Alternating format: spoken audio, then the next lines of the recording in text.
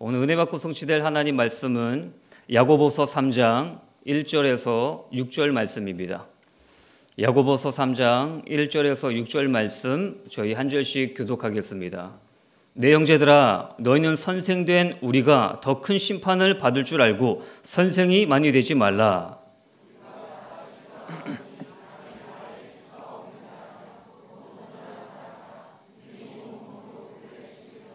우리가 말들의 입에 재갈 물리는 것은 우리에게 순종하게 하려고 그 온몸을 제어하는 것이라.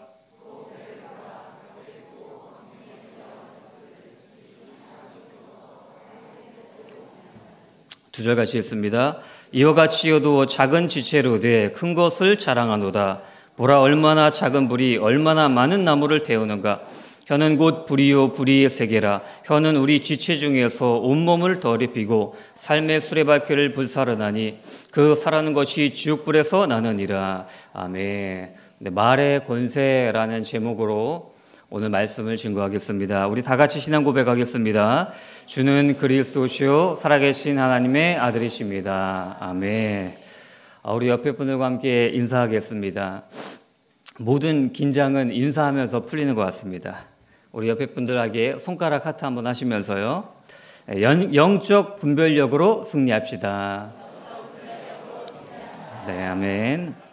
네, 우리 진리 위에 굳게 서는 신앙인 강단의 말씀 주셨습니다.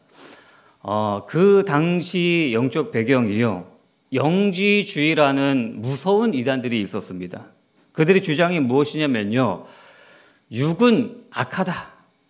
죄를 범할 수밖에 없다. 영은 선하다. 이 주장을 펼치면서요. 아, 그래. 예수가 그리스도 맞지. 근데 뭘 부인합니까? 예수 그리스도의 육신을 부인하는 거예요. 야, 어떻게 하나님의 아들이 더러운 육신을 입고 오실 수 있냐. 그렇게 보인 것 뿐이다. 이 논리를 주장하면 뭐가 부인됩니까? 예수 그리스도 하나님의 아들이 인간의 몸을 이 땅에 입고 오신 성육신을 부인해 버리죠. 또 뭐가 어떻게 되죠? 예수 그리스도의 십자가 죽음 있을 수 없는 일이죠. 육체가 없기 때문에. 부활도 당연히 없죠. 그냥 그렇게 보였을 뿐이래요. 그래서 사도 요한이 또 이 영지주의를 쥐하기 위해서 진리에 대해서 또 강단을 통해서 우리에게 말씀을 주신 거 아니겠습니까? 우리는 어떤 예수 그리스도를 믿죠? 100% 하나님이시며 100% 인간으로 오신 예수 그리스도를 우리는 믿는 줄 확신합니다. 그래서 성경과 강단의 말씀을 통해서 영을 분별하는 우리 예언의 성도님들 되시길 예수 그리스도 이름으로 소망합니다. 아, 말이 참 중요합니다. 우리가 하는 말이 우리 인생을 이끌고 결정하는 거 알고 계십니까? 너무 중요하죠. 우리는요, 생각하는 것이 입술로 나오게 되어 있죠. 근데 그 반대도 돼요. 내가 말하는 것을 내가 생각하게 됩니다. 그럼 우리는 인생을 어떻게 응답하는 인생으로 바꿀 수 있습니까? 너무 심플해요. 내 언어를 의식적으로 하나님의 말씀으로 축복으로 바꿔버리면 됩니다. 중요한 게 우리 은연 중에 나오는 말이 있어요. 은연 중에 힘들다. 은연 중에 어렵다. 참 우리 집은 응답이 없다. 나도 모르게 나오는 그 은연중에 나오는 말, 그 언어가 우리 인생을 끌고 간다니까요. 그럼 우리는 어떤 언어를 붙잡아야 되겠습니까? 날마다 강단의 말씀을 붙잡고요. 강단으로 나를 축복하고 많은 성도님들을 축복하는 우리 성도님들 되시길 바라겠습니다. 근데 잘 안 돼요. 아, 알겠는데. 근데 나도 모르게 불신앙이 나오고 참 복음의적인 말이 안 나올 때가 있지 않습니까? 너무 간단해요. 인풋, 아웃풋. 내가 들어간 것이 나오게 되어 있어요. 영적으로 너무나 심플하지 않습니까? 우리 중고등학생들이 욕을 잘하는 친구들이 꽤 있어요. 왜 욕을 잘하는 줄 아십니까? 이 안에 욕밖에 없어서 그래요. 계속 친구들과 욕으로 대화하고 욕이 들어가고 나도 모르게 자연스럽게 나오는 거 아니겠습니까? 어, 제가 이제 중등부 사역을 좀 어, 예전에 할 때 귀신 보는 친구들이 몇 명 있었어요. 어떤 얘기를 하냐? 신앙 상담을 하는데요. 아니, 학교를 가려고 버스를 타는데 상반신이 없는 다리만 있는 존재가 자기 버스를 따라온대요. 뭘까요? 당연히 귀신을 보는 거죠. 또 어떤 학생은 이런 얘기를 합니다. 말씀을 전하는데 귀신이 전도사님 목을 조르고 있대요. 그 전도사가 접니다. 그래서 그렇게 기침을 하게 만든다는 거예요. 그래서 저도 모르게 내가 그래서 기침을 하나? 그리고 그 친구와 이제 상담실에서 상담을 하는데 발견이 된 게 있어요. 아, 내가 예수 그리스도를 막 선포하니까요. 중등부실 802호 창가였습니다. 저기 있다는 거예요. 거기 올라가시면 결박기도 많이 하시길 바라겠습니다. 그래서 내가 그리스도의 말씀을 전하면 막 벌벌벌 떨면서 안전부절하는 게 보인다는 거예요. 그, 그 친구가 어떤, 어떤 이야기를 하냐. 집에 있는데요. 사람들이 막 자기 집을 오고 간대요. 알고 보니까 뭘까요? 귀신들이죠. 집을 오고 가는데 반가운 얼굴이 보이는 거예요. 저희 사모가 온 거예요. 저희 사모가 와서 아 우리 사모님이 갑자기 지나가다가 신방하러 오셨나 보다. 그래서 사모님 신방하러 오셨어요. 그런데 반응이 없는 거예요. 알았죠. 아 이게 귀신이구나. 제가 집에 가서 그 얘기를 해주니까 기겁을 하시더라고요. 예. 제가 왜 이런 얘기를 말씀드리냐? 그 친구가 뭘 고백하냐? 자기는 귀신 나오는 웹툰이 제일 재밌대요. 밤새 내내 귀신 나오는 웹툰을 계속 묵상하고 보고 있는 거예요. 어떻게 되죠? 인풋, 아웃풋. 내가 들어간 것이 저절로 나오게 되어 있습니다. 그럼 우리 이걸 어떻게 연결해야 되겠습니까? 우리는요, 하나님의 말씀인 성경을 가까이 해야 합니다. 우리 성경을 늘 상고하고 묵상하고 읽고 또 강단의 말씀을 붙잡고 강단의 언약대로 오로지 기도에 힘쓰는 예언의 성도님들이 되어야 할 줄 믿습니다. 왜 성경을 많이 봐야 합니까? 우리는요, 하나님의 자녀로서 성경을 가까이 해야 합니다. 왜냐? 우리는 그래야 영적인 분별력이 생기고 속지 않을 수 있습니다. 아무리 많이 배운 분들도요, 보이스피싱 걸릴 수 있어요. 보이스피싱 어떻게 걸립니까? 나의 감정적으로 뭔가 어떠한 상황이 있을 때 나도 모르게 이성을 잃어버리는 거죠. 그건요, 내가 감성적이자 이성적이냐, 그거랑 상관없습니다. 예를 들어 이런 부분이에요. 자녀가 유럽으로 배낭여행을 왔어요. 근데 뭐 연락이 옵니다. 엄마, 큰일 났어. 핸드폰이 잊어버렸고, 지금 사고가 나가지고 내가 병원비가 필요하고, 그런 상황에서 감정적으로 격해지잖아요. 지금 당장 500만 원이 필요해. 지금 병원에서 그 돈이 나왔어. 그러면요, 우리는요, 속을 수밖에 없어요. 정보가 부족한 거죠. 근데 그 전날 뉴스를 봐요. 아, 이렇게 신종 사기 수법이 있다. 자녀들의 여행도 다 알고 그런 거 알고서 보이스 피싱법이 있다. 이 뉴스만 봤어도 안 걸렸을 거예요. 성경을 읽는 게 마찬가지입니다. 우리가 강단의 말씀을 가까이 하고 성경을 읽으면 어떻게 됩니까? 하나님이 우리 삶 가운데 지혜, 영적인 분별력을 주실 줄 확신합니다. 그럼 어려워요. 아, 성경이 참 어려워요. 왜 어려운 줄 아십니까? 안 읽으니까 어렵죠. 늘 성경을 가까이 하고 강단의 말씀을 가까이 하고 하나님의 말씀을 가까이 하면요. 그 말씀은 천국의 언어 아니겠습니까? 그 천국의 언어가 나의 생각과 가정과 우리 모든 교회와 민족을 살리는 줄 확신합니다. 그래서 우리 예언의 성도님들 제가 서론에 뭐 말씀드렸죠? 성경과 강단 말씀이다. 이걸 날마다 묵상함으로 말미암아 현장에서 영적 지각 변동의 주역들 다 되시길 소망합니다. 우리 첫 번째로는요. 말의 파괴력입니다. 2절 3절 봅니다. 우리가 다 실수가 많으니 만일 말에 실수가 없는 자라면 곧 온전한 사람이라 능히 온 몸도 근래 씌우리라 우리가 말들의 입에 재갈 물리는 것은 우리에게 순종하게 하려고 그 온몸을 제어하는 것이라. 오늘 본문의 야고보는 뭘 계속 강조합니까? 우리 인간의 언어, 말이 굉장히 중요하다는 거예요.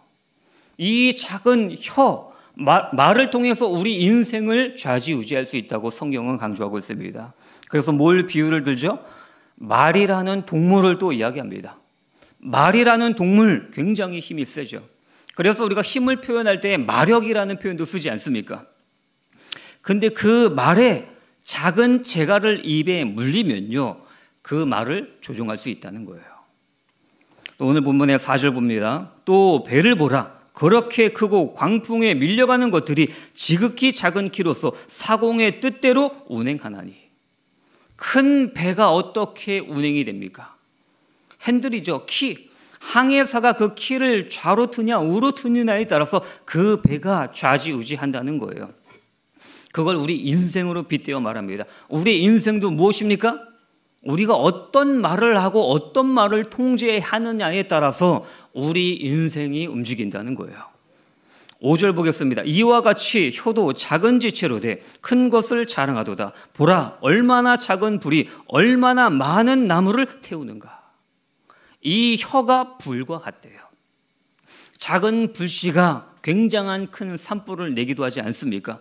말은요, 사람의 인생을 살리기도 하지만 많은 것들을 파괴할 수도 있는 강력한 힘이 있다는 거예요. 우리는 여기서 굉장한 교훈을 얻지 않습니까? 내 안에 감정이 격해져서 나오는 말을요. 우리는요 성령으로 말미암아 하나님의 말씀으로 말미암아 통제해야 할 줄 믿습니다. 시편 109편 17, 18절에 보니까요. 그가 저주하기를 좋아하더니 그것이 자기에게 임하고 축복하기를 기뻐하지 아니하더니 복이 그를 멀리 떠났으며 또 저주하기를 옷 입듯 하더니 저주가 물같이 그의 몸속으로 들어가며 기름같이 그의 뼛속으로 들어갔나이다. 이게 무슨 말입니까? 자기가 한 말이 부메랑 같이 자기에게 돌아온다는 거예요. 그럼 우리는요 어찌해야 되겠습니까? 남을 비판하는 사람, 교회를 비판하는 사람, 그분들을 보면서 우리 같이 욕할 필요 없어요. 우린 어찌 해야 됩니까? 그 분, 그 사람들을 불쌍히 여기면서 우리는 기도해야 할 줄 믿습니다. 그래야 이 모든 것들이 도와라오는 아니겠습니까? 성경에서 말은 굉장히 중요해요. 민수기 14장 28절에 보니까요. 그들에게 이르기를 여호와의 말씀이 내 삶을 두고 맹세하노라. 너희 말이 내 귀에 들린 대로 내가 너희에게 행하리라. 하나님이 들은 대로 행하신다는 거예요. 그럼 우리는 평상시 어떤 말을 많이 해야 되겠습니까? 믿음의 언어, 생명의 언어를 날마다 고백하는 우리 성도님들 되시길 바라겠습니다. 왜냐? 하나님은요, 말씀으로 이 세상 창조하셨어요. 빛이 있으라. 모든 만물들을 말씀으로 창조하셨습니다. 예수 그리스도는 말씀이 육신이 되어 이 땅으로 오셨습니다. 그분을 통해서 우리는요, 영원한 생명 구원을 얻은 줄 확신합니다. 반면에 마귀는요, 창세기 3장, 그 교활한 혀를 통해서 인간을 범죄하게 했습니다. 말이 굉장히 중요하다는 거예요. 말 하나님의 말씀은 우리를 살리지만 사단의 말은 우리를 죽입니다. 그래서 우리는요 말을 신중히 해야 되는 거예요. 이사야서 6장 6절 7절 보니까요. 그때의 수랍 중에 하나가 부젓가락으로 재단에서 집은 바 핀숯을 옷에 가지고 내게로 날아와 그것을 내 입술에 대며 이르되 보라 이것이 내 입에 닿았으니 내 악이 제하여졌고 내 죄가 사하여졌느니라. 평범한 목사 이사야 자기는 말이 어눌한 자라는 거예요. 근데 스랍 천사가 나타나서 어린 양의 보혈이 흘려진 재단에서 숯불을 하나 가져다가 이사야 입술에 가져다 댑니다. 그러니 그 입술이 어떻게 되었다고요? 정해졌다는 거예요. 우리는 어찌해야 되겠습니까? 주의 종의 입술이 거룩해야 돼요. 우리 성도님들의 입술이 거룩해야 됩니다. 불신앙이 나올지라도 우리는 어떻게 해야 되겠습니까? 하나님의 말씀 붙잡고 눌러내야 돼요. 그리고 오로지 기도에 힘쓰는 우리 성도님들 되시길 바라겠습니다. 입술이 변한다. 응답이 시작되는 거예요. 우리가 성경을 통해 늘 확인하지 않습니까? 이스라엘 백성들의 주특기가 무엇입니까? 불만 불평이에요. 구원 받았습니다. 홍해 바다 건넜습니다. 그래도 불만 불평이에요. 모세를 죽이고 새로운 지도자 세워서 다시 애굽으로 돌아가자는 거예요. 하나님이 반석에 물이 터지게 하셨습니다. 그래도 조금만 다시 목마르면 불만 불평이에요. 하나님이 하늘에서 만나를 주셨습니다. 그 완벽한 음식 만나를 먹으면서 뭐라고 합니까? 이 하찮은 음식을 내가 싫어하노라. 그렇게 불만불평을 일삼았어요. 그러니까 그 결과가 무엇입니까? 40년 광야 생활이에요. 그런데 그들의 응답이 언제 오죠? 입술이 언제 바뀝니까? 민수기에 보면요. 모세에게 하나님이 말씀하세요. 어느 현장으로 가라. 물이 바라는 곳에 가라. 그 우물에 물이 있을 것이다. 하나님의 말씀이 있는 우물입니다. 이스라엘 백성들이 목이 말라서 그 우물가를 찾아갔습니다. 어찌 됐죠? 말라 있어요. 옛날 같았으면 어떤 반응입니까? 불만불평을 쏟아놨을 거예요. 물이 있다면서요. 하나님이 사기치네, 모세가, 모세가 사기쳤네. 여러 가지 불만을 쏟아냈을 겁니다. 근데 희한해요. 그들이 어떤 행동을 취합니까? 찬양을 하면서 물을, 우물을 파기 시작했어요. 그들이 찬양을 하면서 우물을 파기 시작하니까 모든 이스라엘 백성들이 달려서 우물을 파서 그 우물이 터졌습니다. 그 우물물을 마시고 비스가 산 꼭대기에 올라가서 이제 곧 정복할 가나안 땅을 바라보는 거예요. 이게 응답이 어디서 났다고요? 아, 내 입술이 변함과 동시에 하나님이 응답을 주시는구나. 그래서 우리는요, 불만 불명의 입술이 아닌 하나님을 찬양하는 강단의 말씀을 선포하는 생명 살리는 우리 연애 성도님들 되시길 바라겠습니다. 우리 입술이 영적인 전쟁터예요. 영적인 전쟁터가 우리의 생각과 입술에 있습니다. 오늘 야고보가 뭐라고 하죠? 말의 입에 재갈을 물린다. 재갈을 물리는 것은 어떤 싸움입니까? 말의 야생성을 제어하고 싸우는 거예요. 그래서 말의 야생성을 제압하는 거죠. 배 키는 폭풍우와 싸워 이겨야 합니다. 마귀는요 계속 우리 마음속에 감정 가운데 악한 감정을 넣어서 어떻게 합니까? 우리 입술 가운데 불신앙을 뿜어내게 하고 악한 감정적인 말을 뿜어내게 합니다. 이런 경우 있죠. 아 주일날 예배 드려요. 예배 드리고 가는데 차 안에서 부부 싸움해요. 부부 싸움하면 희한합니다. 부부 싸움하면 어떻게 돼요? 교회 가기가 싫어져요. 어떤 믿음 없는 분은 이런 얘기합니다. 시옷 비읍 다신 교회 안 가. 부부 싸움 해놓고. 왜 그런 이야기를 합니까? 그리고 이 감정적인 말을 하면 어떻게 됩니까? 자기가 가장 먼저 놀라요. 자기가 놀라고 상대방도 놀라고 하나님도 놀라고 마귀도 놀랍니다. 다 놀라요. 자기도 모르게 그런 악한 말, 감정적인 말을 고백하게 되는 거죠. 그래서 우리는요, 내 안에 계속 불신앙과 파멸적인 언어가 올라오거든요. 이걸 우리는요, 하나님의 말씀으로 점검을 해야 됩니다. 우리 마음이 어떻습니까? 나는 무능해. 나는 한심해. 아, 나는 게을러니까 왜 이렇게? 나는 왜 이렇게 전문성도 없을까? 나는 이렇게 배경도 없을까? 구원받는 거 말고는 잘 된 게 하나도 없네. 이렇게 내 안에 계속 파멸적인 언어가 막 나올 때가 있어요. 그럼 어떻게 됩니까? 사람의 멘탈이 흔들려요. 성경에도 보니까요, 모세가 하나님 앞에 사표 내는 구절이 있어요. 그 사표가 무엇입니까? 천국 보내달라는 거예요.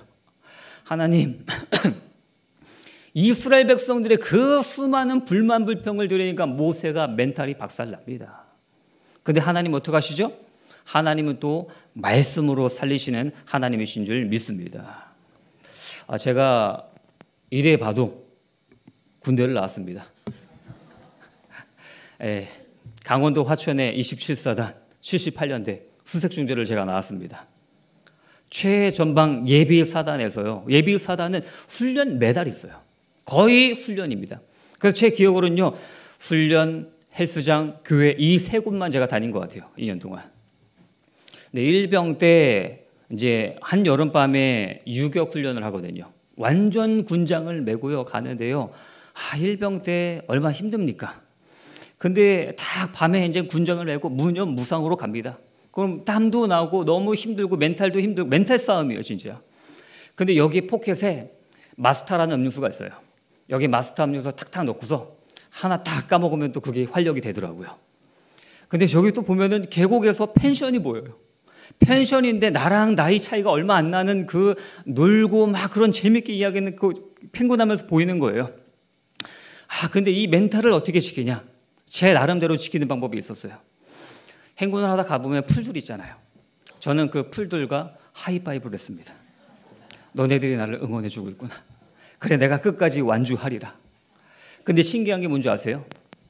그거 하나로 멘탈이 지켜져요. 내 안에 계속 언어가 나와야 포기해. 야, 다른 애도 낙오하잖아. 너도 그만둬. 그러면 쉴 수 있어. 계속 내 안에 언어가 막 솟아나요. 불신앙적인 언어가. 근데 말씀은 아니지만 난 할 수 있다. 끝까지 가자. 니네들도 나를 응원하는구나. 이 단어를 통해서 나의 멘탈이 살아나고 육신까지 살아난 부분들을 좀 경험하게 되었습니다. 우리는 어떻게 해야 되겠습니까? 나는 할 수 있다. 내게 는 의지가 있다. 이걸 넘어서서요. 내게 능력 주시는 자 안에서 나는 모든 것을 할 수 있느니라. 날마다 믿음의 언어를 고백하는 우리 예언의 성도님들 되시길 바라겠습니다.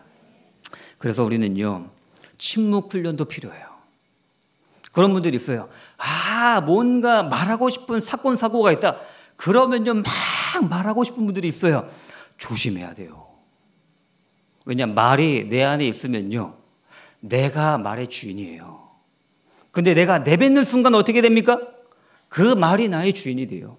말 한마디 잘못해서 끌려다니는 사람들이 얼마나 많은 줄 아십니까? 여러 가지 막 말하고 싶은 게 있다. 그럼 우리 성경을 봐야 돼요. 전도서 5장 2절 3절 보니까요.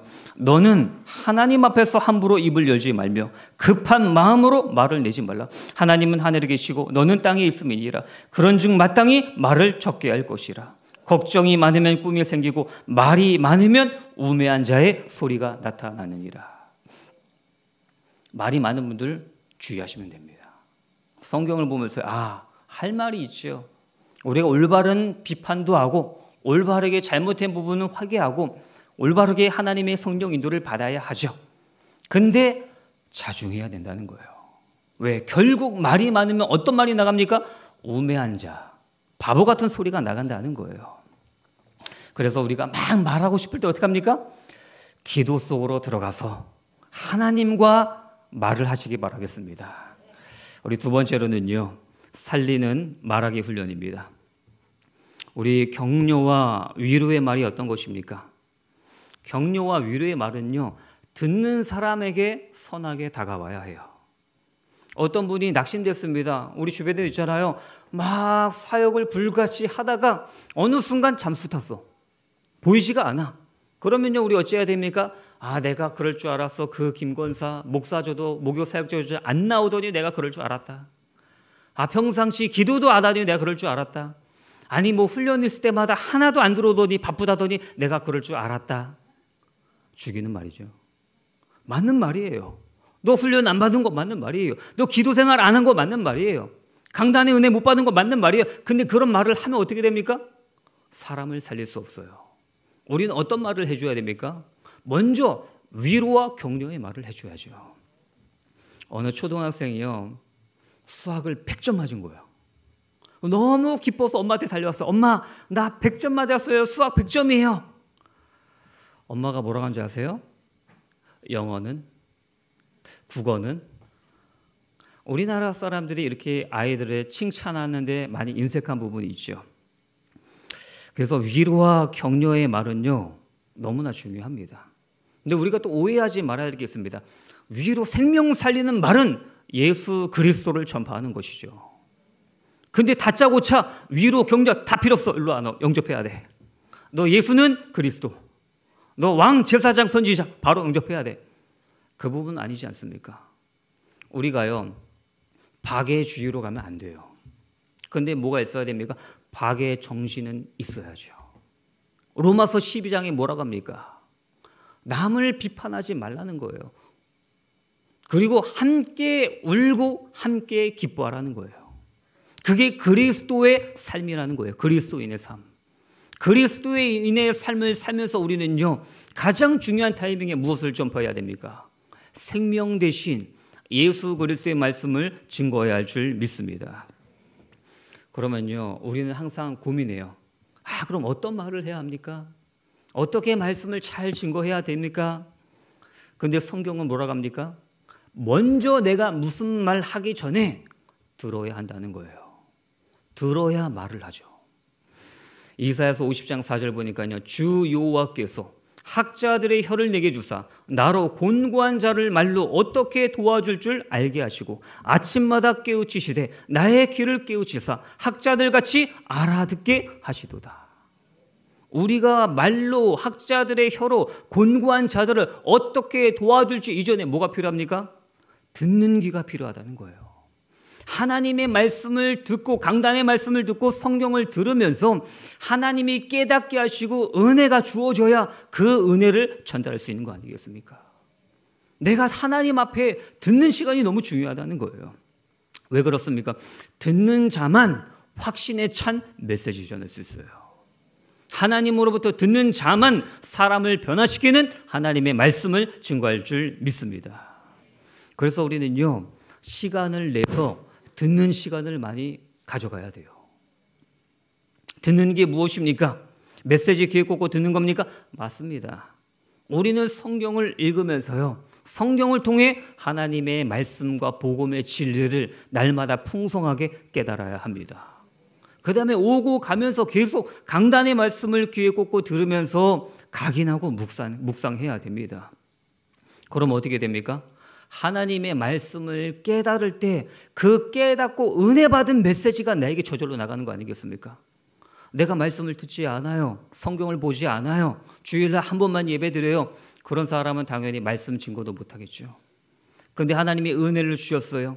강단의 은혜를 받아요. 성경을 왜 읽습니까? 성경이 하나님 말씀 자체잖아요. 성경을 읽으면 어떤 효과가 나타나는 줄 압니까?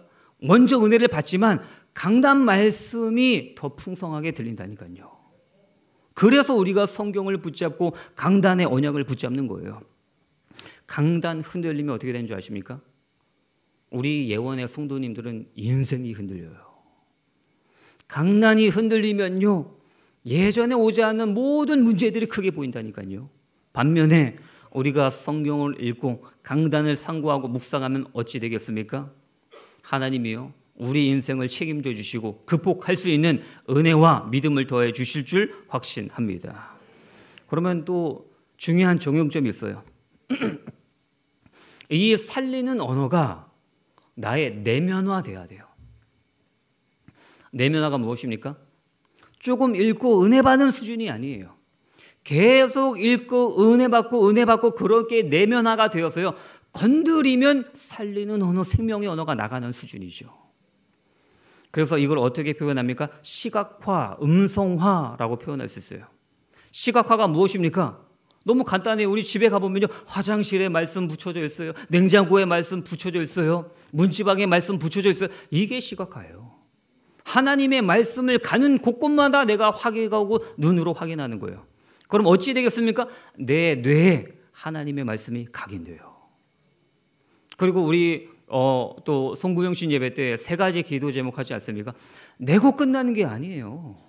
사진 찍어놓고 핸드폰 사진 함에 거, 거기만 있는 게 아니에요. 우린역을 출력해 놓고서요 붙여 놓으셔야 돼요.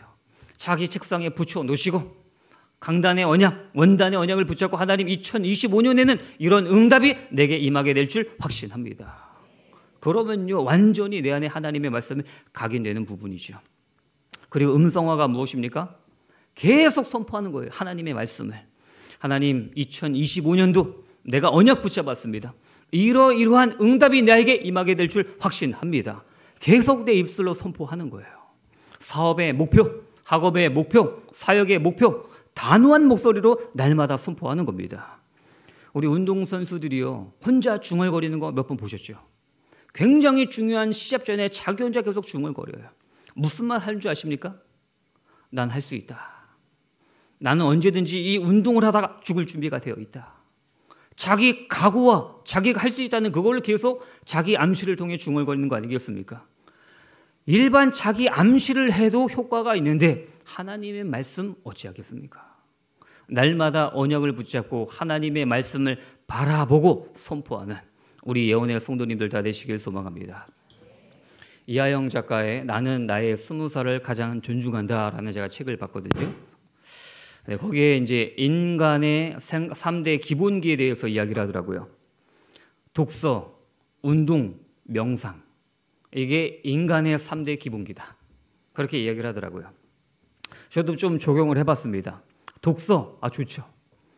우리 하나님 자녀의 최고의 독서는 무엇입니까? 성경이죠. 우리는 성경을 봐야 돼요.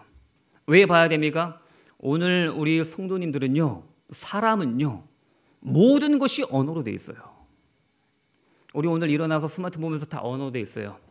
음성 언어로 돼 있습니다. 오늘 설교 한국어로 언어로 지금 다 나가고 있습니다. 이게 무슨 말입니까? 내 삶의 언어가 풍성해지면요. 우리의 삶도 풍성해져요. 내가 하는 말이 저렴하다. 그 사람 인생은 저렴해요. 근데 나의 언어가 하나님의 말씀을 통해서 풍성한 하나님의 말씀이 날마다 고백하고 있다. 그 사람은 풍성한 응답을 받게 되어 있습니다. 그래서 우리는요, 날마다 강단의 말씀, 생명의 말씀, 성경의 말씀, 날마다 읽고 묵상하고 선포해야 되는 겁니다. 그럼 우리의 삶의 응답이 어떻게 되겠습니까? 응답을 받을 수밖에 없죠. 안 받는 게 이상하죠. 그리고 축복의 언어를 남에게, 나에게 선포하는 거예요. 예기치 일이, 예기치 않은 일이 생깁니다. 문제가 터집니다. 그럴 때마다 우리는 낙심하고 절망하는 것이 아니에요. 하나님의 말씀 선포하는 겁니다. 예레미야서 29장 11절에 보니까요. 여호와의 말씀이니라. 너희를 향한 나의 생각을 내가 안하니 평안이요 재앙이 아니니라. 너희에게 미래와 희망을 주는 것이니라. 남들은 난리 났어요. 너 어떡하냐? 너는 큰일 났다. 이 문제 어떻게 해결할래? 오히려 야단법석이에요. 근데 우리는 어찌해야 되겠습니까? 자기 자신에게 하나님의 말씀 선포하는 거예요. 재앙이 아니다. 하나님이 평안을 주시기 위함이다. 이걸 통해서 우리의 미래와 희망을 하나님께서 주실 것이다. 그럼 어찌 되겠습니까? 우리 마음이 달라져요. 하나님이 불안감을 제거해 가시고 강하고 담대한 마음을 우리에게 주실 줄 확신합니다. 우리 디엘 무디 목사님은 이런 말씀하셨습니다. 이 책이 당신을 죄로부터 멀어지게 하든지 아니면 죄가 당신을 이 책으로부터 멀어지게 하든지 둘 중에 하나다. 이 책이 무슨 책입니까? 성경이죠. 우리가 성경을 가까이 하지 않으면 어떻게 됩니까? 자연스럽게 죄의 길로 가는 게 사람이라니까요. 반대로 우리가 날마다 틈나면 성경을 읽고 기도를 하고 찬양을 부르면 어찌 되겠습니까? 하나님의 영역으로 우리가 들어가는 거예요. 그러면요, 하나님께서 우리의 삶을 책임지시지 않겠습니까? 우리 16세기 중반에 독일이란 나라는요, 유럽 여러 국가 중에 별 볼 일 없는 나라였어요. 그냥 게르만 야만족의 후예였던 힘없는 나라였죠. 근데 이 16세기 중반부터 독일이 비상하기 시작합니다. 최고의 문학자, 철학자, 음악가들이 배출되더니 300명 만에 이제 통일이 되었습니다. 왜 그런 줄 아십니까? 희한해요. 그 시기에 마틴 루터라는 사람이 라틴어 성경을 독일어 성경으로 번역을 하기 시작했어요. 독일인들 인들 손에 성경이 쥐어졌습니다. 이 성경을 읽고 묵상하기 시작하니까 어떻게 되죠? 문맹률이 낮아지고요. 종합대학의 시스템이 생기고요. 교육이 바뀌고 독일이 일어나기 시작한 거예요. 성경이 어떤 효과가 있습니까? 성경 한 권은요, 개인을 변화시키지만 교회와 나라와 민족을 살리는 능력이 있는 줄 믿습니다. 그리고 또 그 책에서 두 번째 인간의 기본기 운동을 강조하더라고요. 운동하셔야죠. 오늘 당장 가서 운동 안 하시는 분들은 결단하시기 바라겠습니다. 왜냐 운동 몸을 관리해야 되는 거 아니겠습니까? 몸이 아파 보신 적 다들 있으시잖아요. 아프면요 기도 됩니까? 기도 안 돼요. 성경 볼 수 있어요? 성경도 안 보여요. 아무것도 하기 싫어요. 아프면요. 그리고 우리가 몸이 건강해야 되겠지만은 뇌 과학자들이 뭐라고 합니까? 운동을 통해 뇌가 바뀐다는 거예요. 우리 뇌가 발달하기 위해서는 뭐 합니까? 아, 뭐 기억력 연산을 하고 뭐 바둑도 두고 여러 가지 생각하는 걸 많이 하잖아요. 뇌과학자들이 어떤 연구를 한 줄 아세요? 그것보다 더 효과적인 게 유산소 운동이다. 운동하시는 뇌라는 책도 있습니다. 유산소 운동을 통해서 혈액이 뇌에 잘 공급되면요. 뇌의 노화도 방지가 된다는 거예요. 그리고 운동을 통해서 우리는요. 세상을 바라보는 시각, 나에게 닥친 문제를 바라보는 시각이 달라진다는 거예요. 문제가 왔어요. 맨날 책상에서 고민만 하면 해결이 됩니까? 해결 방안이 없어요. 오히려 산책을 나가고 메시지를 들으면서 운동을 하고 그러면서 하나님이 새로운 은혜를 주시고 생각을 주십니다. 이런 부분도 우리가 체험할 수 있죠. 그리고 세 번째 명상, 우린 묵상 아니겠습니까? 우린 기도 속으로 들어간 건 아니겠습니까? 이 기도가요, 즐거워야 지속이 돼요. 게임은요, 2박 3일 밤새면서 하라고 해도 해요. 재밌으니까. 기도는요, 공부는요, 쉽지 않습니다. 근데 기도가 재밌다. 참 너무나 즐겁다. 그러면 당연히 되어지는 거 아니겠습니까? 저는 어떻게 기도를 즐겁, 즐겁게 하는 줄 아십니까? 이미 이루어졌다고 믿어요. 하나님 여호수아에게 뭐라고 말씀하십니까? 내가 받는 땅을 이미 너에게 주었노니. 아, 나에게 미래인데 희한해요. 하나님은 과거 완료로 말씀하세요. 왜? 시 공간을 아우르고 초월하시는 분이세요. 또 뭐라고 하십니까? 내가 그들을 내 손에 넘겨 주었노니. 아직 전쟁도 안 했는데, 이기지도 않았는데 이미 하나님은 줬다는 거예요. 승리했다는 거예요. 우리는 언약 안에서 얼마든지 이렇게 행복하게 기도할 수 있습니다. 그래서 우리 어떻게 기도해야 됩니까? 중요한 단서, 말씀 안에서예요. 언약 안에서 이미 나는 응답을 받았다. 나의 기도를 통해서, 믿음을 통해서 쟁취하는 거 아니겠습니까? 그래서요, 우리 예언의 성도님들 결론적으로 말씀드리겠습니다. 우리 결론, 말의 권세죠? 하나님 자녀의 최고의 말의 권세가 무엇입니까? 감사입니다. 우리는 날마다 감사할 것밖에 없어요. 문제가 왔어요? 감사합니다. 하나님이 이 일을 통해서 어떤 더 큰 일을 행하실지 저는 모르지만 하나님이 인도하실 줄 믿습니다. 감사합니다. 감, 느낄 감에 살해할 사입니다. 사는 또 말씀 원자와 솔 사자 한문이 합쳐져 있어요. 이 한문을 쪼개 보면 어떻게 우리가 어, 해석해 볼 수 있죠? 감사는 감사한 감정을 말로 쏘는 거예요. 감사한 마음만 품어서 감사한 게 아니에요. 감사하면 감사를 선포하시길 바라겠습니다. 하늘 보좌의 문을 여는 비밀이 있어요. 예수 그리스도죠. 그분이 이 땅에 오셔서 우리 모든 죄를 담당하시고 죽으시고 부활하셨습니다. 그에게 우리에게 부활 소망을 주셨습니다. 이 복음을 아는데 불만 불평의 감정을 가지고 예수를 불러요. 문이 열리질 않아요. 성경을 보십시오. 언제 하늘 보좌의 축복이 열리겠습니까? 예수 그리스도라는 이 엄청난 비밀을 붙잡고요. 감사를 선포하는 거예요. 그때 하나님께서 하늘 문을 여시고 우리에게 하나님의 축복을 부어 주시는 줄 확신합니다. 우리 성경을 해석한 책을 주석이라고 하죠. 매튜 헨리 주석이라는 게 있어요. 매튜 헨리 주석을 쓴 매튜 헨리 목사님이 어느 날 강도를 당했습니다. 강도를 당해서 얻어맞고 피를 흘리고 돈을 다 빼앗겼어요. 그리고 간신히 기어서 집에 도착했습니다. 매튜 헨리 목사님이 집에 오자마자 무릎 꿇고 한 게 기도였어요. 하나님, 제가 강도가 아닌 강도 당한 입장이라 감사합니다. 돈은 빼앗겼으나 생명은 빼앗기지 않으니 감사합니다. 지금 그 강도를 위해 기도할 수 있음에 감사합니다. 그 사람이 다시는 강도로 살아가지 않도, 않도록 인도하여 주시옵소서. 아, 절대 감사 체질이지요. 하나님이 그 사람을 어떻게 하실까요? 당연히 하나님이 말씀으로 영육간의 장막터 넓혀지게 하시지 않겠습니까? 그래서 우리 예언의 성도님들 하나님의 자녀의 특권 뭐라고요? 기승전 감사입니다.